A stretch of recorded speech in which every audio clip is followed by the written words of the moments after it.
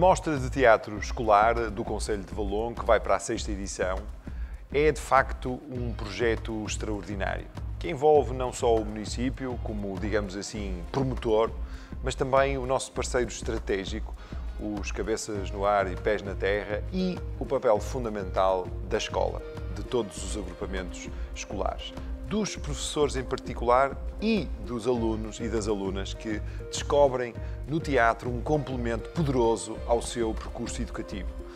O teatro, para nós, e tem sido sempre esta a preocupação central, é uma arte maior que toca muito todos aqueles alunos que têm a oportunidade de aprender a fazer teatro, porque lhes pode dar ferramentas no seu processo de crescimento, no seu processo de leitura, de reflexão sobre o mundo, de defesa das suas ideias, de solidariedade, enfim, de autonomia e dessa forma de terem maior capacidade de participação cívica.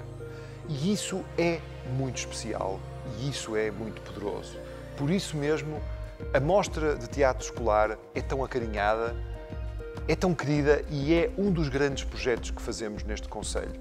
Estamos em combate pandémico, tem havido uma adaptação aos meios online, vai continuar. Esta edição também vai manter, digamos assim, esse registro, mas para o ano estamos seguros que será já em regime presencial, com noutro quadro, no quadro normal, em que os alunos e as alunas das nossas escolas mostram o poder do teatro.